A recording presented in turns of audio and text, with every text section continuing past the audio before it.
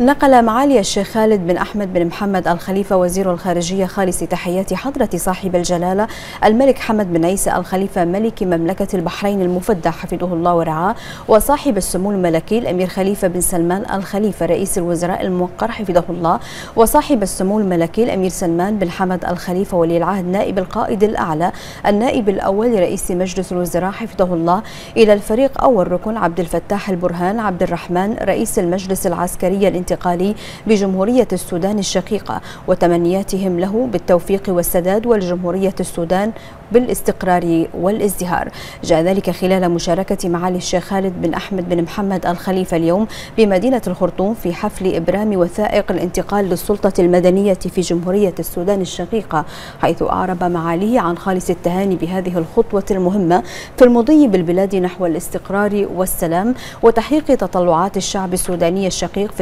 التنمية والتقدم منوها معاليه بوعي ومسؤولية كافة الأطراف في جمهورية السودان وبحرصها على المصلحة العليا والتي توجت بهذا الإنجاز الكبير.